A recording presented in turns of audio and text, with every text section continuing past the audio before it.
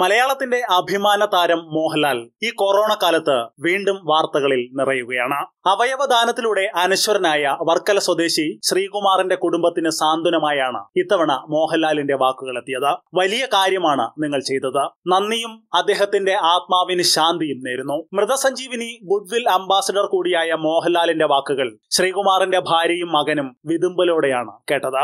ചെന്നൈയിലാണെന്നും തിരുവനന്തപുരത്ത് എത്തുമ്പോൾ നേരിട്ട് കാണാൻ ശ്രമിക്കുമെന്നും അദ്ദേഹം കുടുംബത്തെ അറിയിച്ചു. വർക്കല ഒറ്റൂർ മുള്ളറംകോട് ശ്രീ ബിശ്വത്തിൽ പൊതുപ്രവർത്തകനായ ശ്രീകുമാറിന്റെ അവയവങ്ങൾ നാലു പേർക്കാണ് പൊതുജീവൻ നൽകിയത്. വാഹനാപകടത്തിൽ പരിക്കേറ്റ് മസ്തിഷ്ക മരണം സംഭവിച്ച അദ്ദേഹത്തിന്റെ അവയവങ്ങൾ ദാനം ചെയ്യാൻ ഉറച്ച മനസ്സോടെ കുടുംബം തയ്യാറായി. ഹൃദയം കോട്ടയം മെഡിക്കൽ കോളേജിൽ ചികിത്സയിലായിരുന്ന അതിരമ്പുഴ സ്വദേശി ജോസിനാണ് രക്ഷയായത്. കരളും ഒരു വൃക്കയും കിംസ് ആശുപത്രിയിലും ഒരു വൃക്ക തിരുവനന്തപുരം മെഡിക്കൽ കോളേജ് ആശുപത്രിയിലും ചികിത്സയിലുള്ള രോഗികൾക്കാണ് ദാനം ചെയ്തത്. സർക്കാരിന്റെ അവയവദാന പദ്ധതിയായ മൃതസഞ്ജീവനിയിലൂടെയാണ് അവയവദാനം നടന്നത്. ശ്രീകുമാറിന്റെ മകനും പട്ടത്ത് ജെ ഡി സി വിദ്യാർത്ഥിയുമായ സ്വാതിനെ ഞായറാഴ്ച വൈകിട്ടാണ് മോഹൻലാൽ ഫോണിൽ വിളിച്ചത്. പത്രത്തിൽ വായിച്ചറിഞ്ഞെന്നും മോൻ എന്തു പഠിക്കുകയാണെന്നും അദ്ദേഹം അന്വേഷിച്ചു. പിന്നീട് ശ്രീകുമാറിന്റെ ഭാര്യ ബേബി ബിന്ദുവുമായി സംസാരിച്ച മോഹൻലാൽ ഒരുപാട് പേരുടെ പ്രാർത്ഥന നിങ്ങൾക്കൊപ്പം ഉണ്ടാകുമെന്നും പറഞ്ഞു. ഒരിക്കലും ചിന്തിക്കാൻ കഴിയാത്ത സമയത്താണ്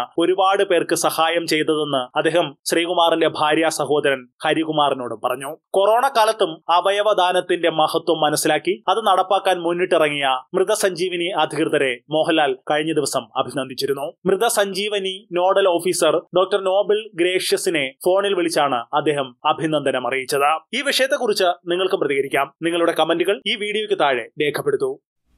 thank you